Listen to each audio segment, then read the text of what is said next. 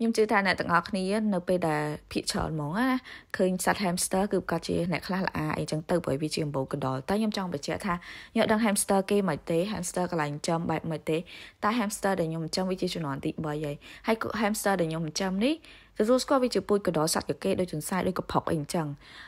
គាត់តែភាពមួយគឺវា copy កណ្ដុរលូកណ្ដុរអីយើងទូទៅគឺ hamster នេះអត់ចូលចិត្តកក្រិចទេខ្ញុំបញ្ជាក់ hamster របស់ខ្ញុំ ខ្ញុំចាំគាត់មកតាំងពីគាត់នៅទូចឥឡូវគាត់មានអាយុ1ឆ្នាំហើយអាយុ1ឆ្នាំរបស់ hamster គឺស្មើនឹងមនុស្ស35ឆ្នាំ